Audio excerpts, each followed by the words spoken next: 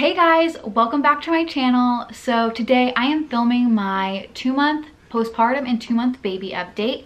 I have stuff from what she's eating, her diapers, what she's wearing, um, any milestones that she's had.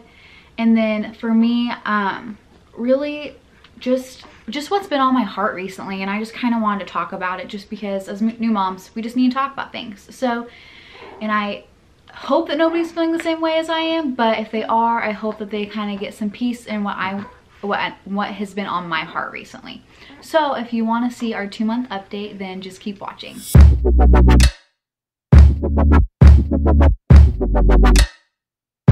okay starting actually I'm gonna start with her first because I can just kind of list things off as I go.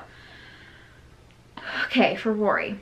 So, some milestones. She rolled over from her front to her back once. I think it might have been a fluke because it hasn't happened since. She's sucking on her hands. Um, it hasn't happened since, so it might have just been a fluke thing, and she might have just been so over tummy time that she was like, you know what, I'm done. Like, I'm going on my back. Because we were, we put her on her tummy, and she hates tummy time we were cooking dinner we kept checking in on like we would turn our heads to make sure she was okay I turn around and she's on her back and I was like, John, she just rolled over and we were just so mesmerized. So we flipped her back over and she got really close to doing it again. But since then she hasn't done it. So it might not happen for a while. um, she smiles a ton. Right now I probably can't get her to because she's kind of fussy. She can grab toys that are hanging above her. We bought her a playmat. It's the Infantino Twist and Go, I believe. I'll link everything down below. Um, and she can hit at the ones that are longer. And then when we were in North Carolina, we needed to get her a toy for her car seat because we were in our car a lot that trip because we were going between houses, looking at houses and then going back to them and making offers and just stuff like that. So she was kind of getting sick of being in the car seat. So we got her just these rings that can attach. I think it was like a pack of like 25 for like three bucks at Buy Buy Baby. And like I said, I'll link it down below and we hung a few on her car seat um, on the handle and then she can just hit them and grabs them and stuff. And then we hung a few on one of the rings on her playmat and then we have a few extra in the diaper bag that I can just like kind of jingle at her because it'll just keep her entertained for a few minutes. But she'll hit them she'll grab them she'll pull with them. She's gotten a few of them pulled off.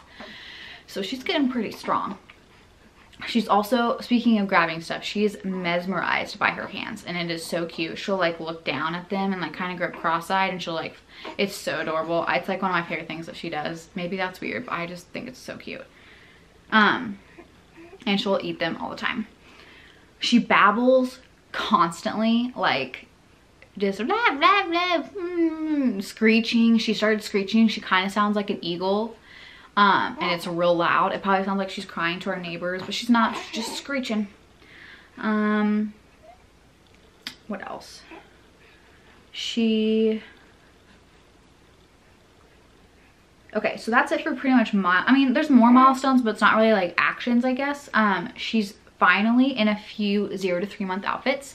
She's now three months old today as I'm filming this, and she's finally in a few of them and the size one diapers don't look absolutely ridiculous. So I think after we run out of the newborn Pampers, we can probably start using the ones we have.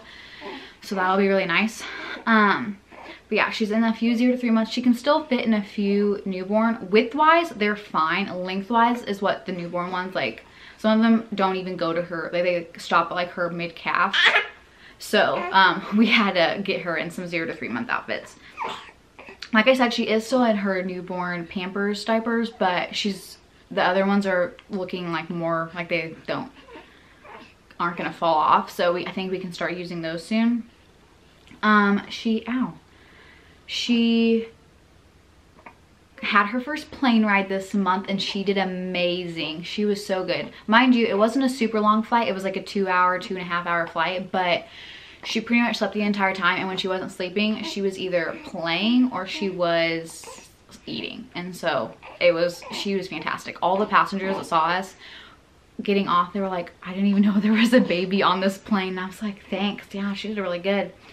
She had her baptism this month which was really exciting and i i think i teared up and i wasn't expecting to like just seeing all of my family and friends in the same place celebrating rory and celebrating god with her was fantastic and her both of her godparents were able to come and they were up at the altar with us and our pastor who married us and he's been an amazing influence in our lives. He was able to baptize her and it was it was just amazing. So yeah, I got us up there and I was just so happy that everybody was able to be in the same place celebrating Rory and celebrating this life that John and I made together. So that's definitely a huge milestone this month for her and I.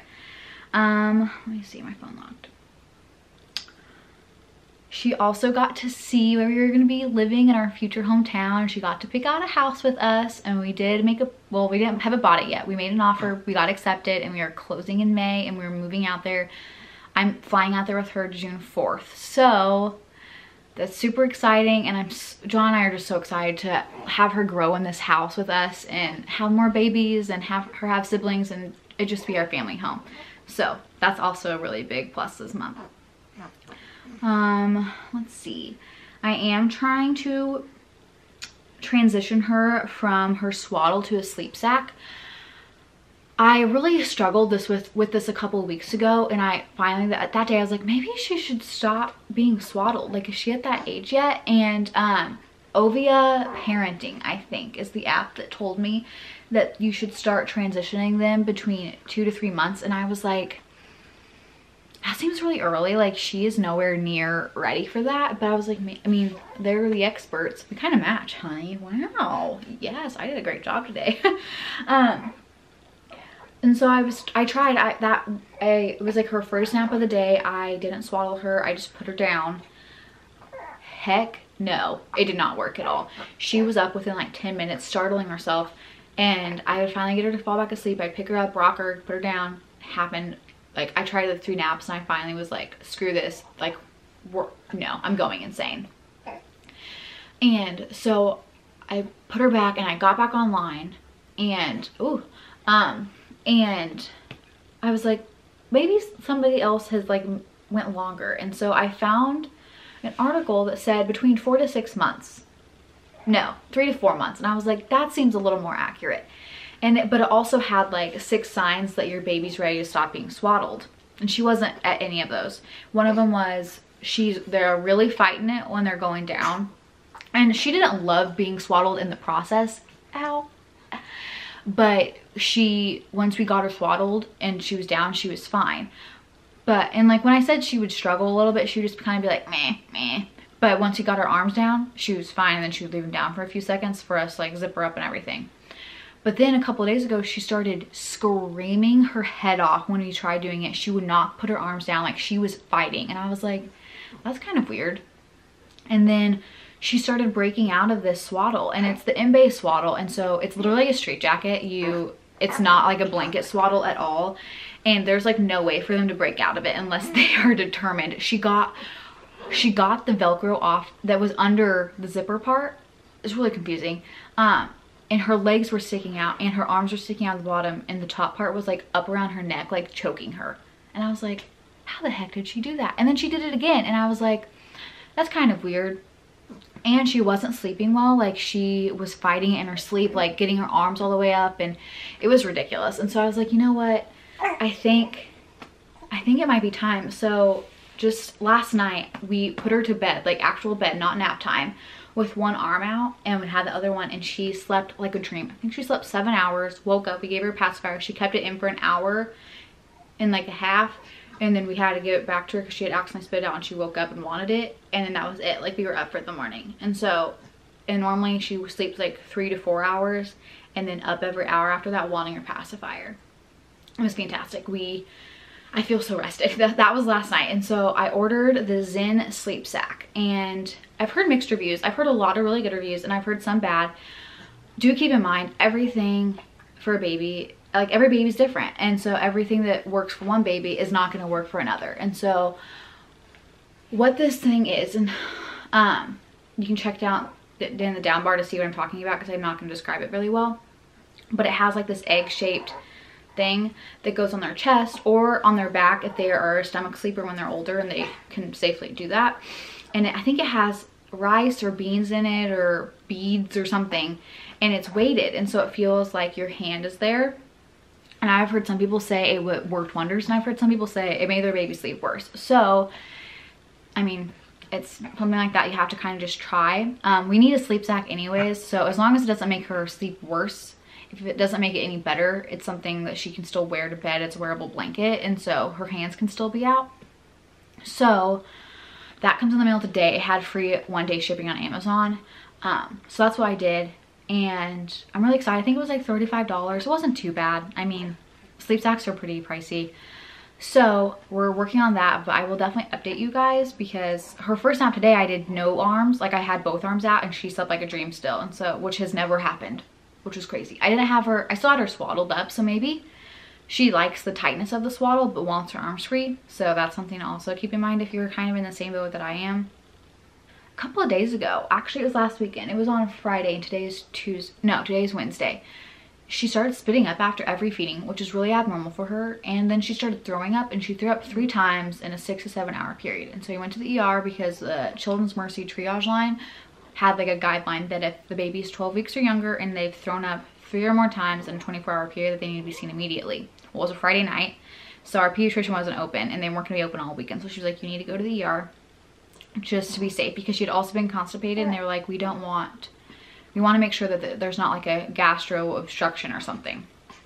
So he took her and they think that it might have been a viral thing. Um, but she didn't have a fever. She wasn't acting funny. It was really weird.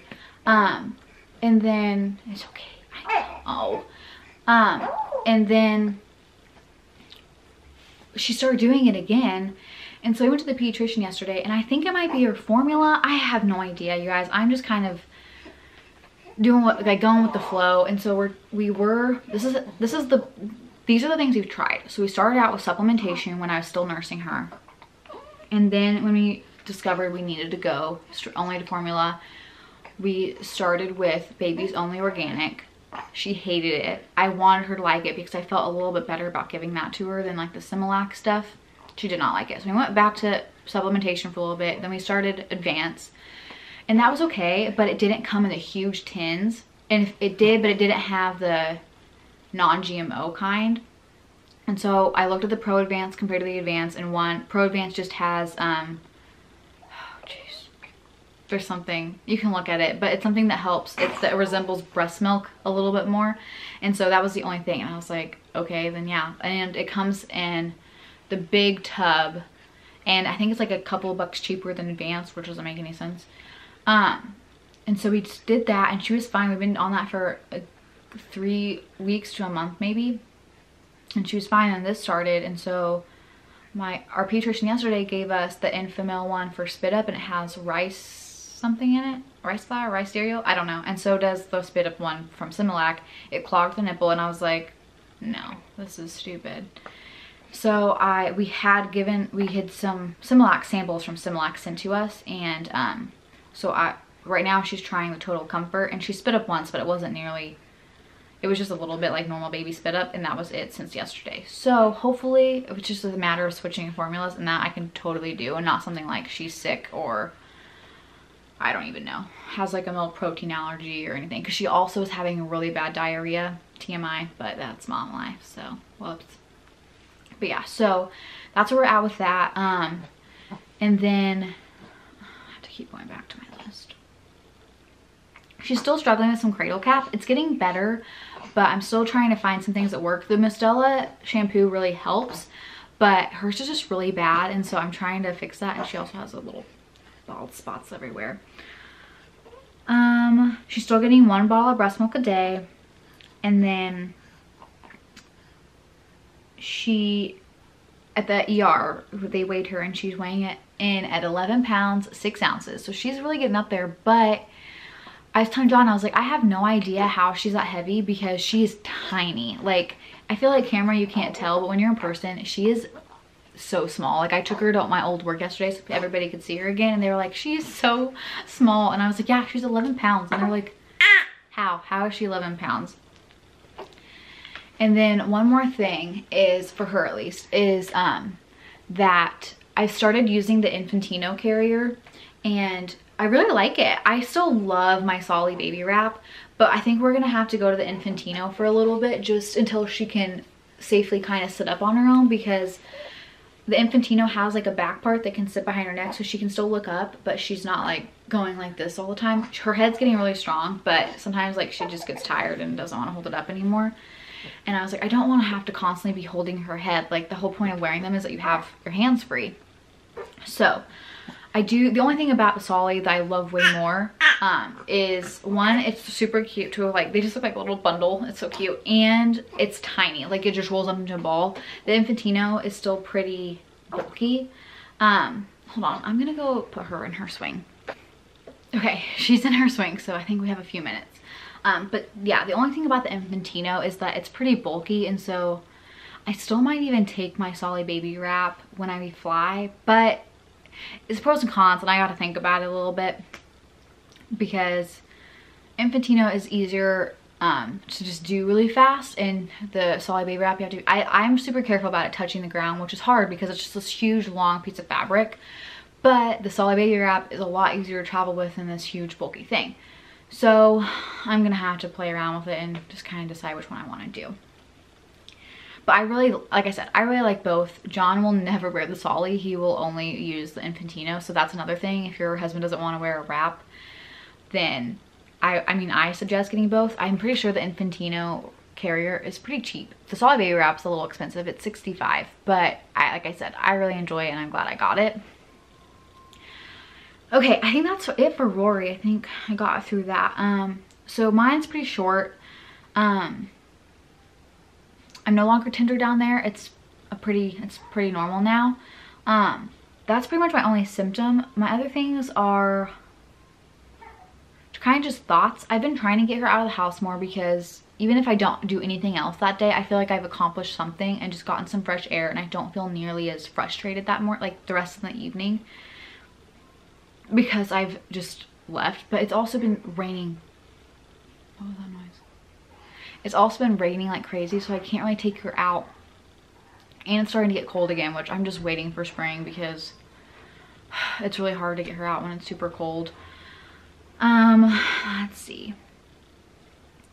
And then I'm trying to tell myself, because I just really dwell on the hard days, which is has always been an issue of mine. And I really try to tell myself, like, some days are good, some days are hard, but that doesn't make days bad. It just makes some days a little harder to keep your patience. Hold on, she's crying. Okay, I'm back. but I really dwell on the hard days and just chalk it up as an awful day and that nothing else matters and I don't even try to like make the rest of the day a good day. Like when she was throwing up all day, I was just in such a bad mood. I felt so bad because John comes home from work and I'm just so cranky and my fuse is so short with her, with him, with our dog. And I, I've really been praying to God just give me patience. There's a dog outside. Because these moments go by so fast with her and with my husband. Like I want to be in the best mood and just because something bad has happened does not mean you have to make the whole day a bad day and you, like 90% of a bad day is your attitude like just not getting over something so I've really been praying about that. And then the other thing is, and I've talked about this multiple times already, and it's just really something I'm struggling with in motherhood. And as a woman, I've struggled with it, but even more now is just comparing myself to other women, women that aren't even moms and who haven't even bared a child, and then other moms. Like I, I just, oh my gosh, I have such a hard time and I can't blame anybody else except myself. Nobody like does anything, like nobody brags. I mean, maybe they do, but um, I mean, that's on you to just be a stronger person in yourself and not let that get to you. But I, like, for example, I, I follow a lot of mom bloggers and a lot of mom YouTubers. Um, and they're like, I mean, they're like a month or farther along than I am postpartum, but still like they're super in shape already and I get really down about myself and I have to remind myself like not all of them are like this but all of them most of them either their husbands work for them at home or work from home by themselves or they have an assistant. And so I and so they have help. Like they can go to the gym once a day at a reasonable hour um, and I, I can't do that. Like if I want to go to the gym I either have to go at 5 30 in the morning or I have to go like 11 o'clock at night.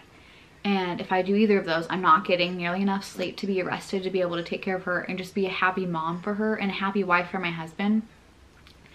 And I'm not saying I just never try. Like if I, John has a day off, I really try to get to the gym, but then I also really want to spend time with my husband because days off for him are very rare. So that's really something I've been struggling with and I had mentioned to one of my a mom friend yesterday.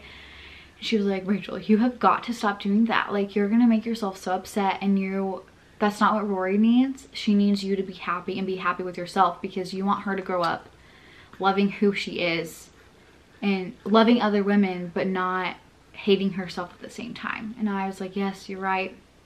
I really need to teach those values. So I've really been praying about that. And that doesn't mean I'm anywhere near it. I'm probably farthest from it, but it's something I pray about multiple times a day, every day. I talk about it with John all the time. He tells me I'm beautiful almost every day and I never listen to him. And I need to. I just I need to be like, yeah, like I'm beautiful in my own way. Like just because another woman's beautiful does not mean I'm not beautiful. Just because another woman's a good mom does not mean I'm not a good mom. So that's something that's really been on my heart lately. Um, I hope nobody else is struggling with that, but if you are, know that you're not alone. Know that you're not the only mom out there that's feeling this way because I know I'm not the only mom out there and maybe even those moms I'm looking up to that I'm, I'm like, you are such a great mom. You're doing all the great things. You are giving your mom, you're giving your child breast milk. You're so in shape. Maybe those moms see other moms and feel the same way and feel like they're bad. And, but I'm looking up to the ones that also have the same issue. So that's just something I've been thinking and Rory's fallen asleep. So I think that's my cue to get off of here. I hope you guys enjoyed this three month update. If you did, make sure you give it a thumbs up. If you like me, make sure you subscribe and I will be back in the next few days with another video. Bye guys.